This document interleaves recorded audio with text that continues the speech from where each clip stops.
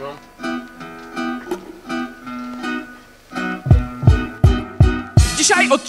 O równowadze w kadrze i o tym, że kolor może posiadać wagę. Nie dosłownie, ale spójrzcie Gdyby kadr był wagą w tym układzie Przechyliłby się na stronę prawą. Żeby mieć równowagę musiałbym mieć dwa kwadraty. I mamy dwa kwadraty. Jest równolec, zobaczcie co się dzieje Kiedy zmienię jeden kolor na czerwony. Wizualnie kadr przechyla się wtedy na prawą stronę No bo chociaż fizycznie żaden kolor nic nie waży To w kadrze większy ciężar mają zawsze ciepłe barwy Analogicznie zimne mają mniejszą wagę. Weźmy sobie klatkę z filmu, by posłużyć się przykładem. Ciomeczek po prawej jest w kolorze czerwonym Choć jest lżejszy od latarni, to jest tu zrównoważony Ciepłe barwy wizualnie mają w kadrze większą wagę. I tyle w tym temacie, do zoba, na razie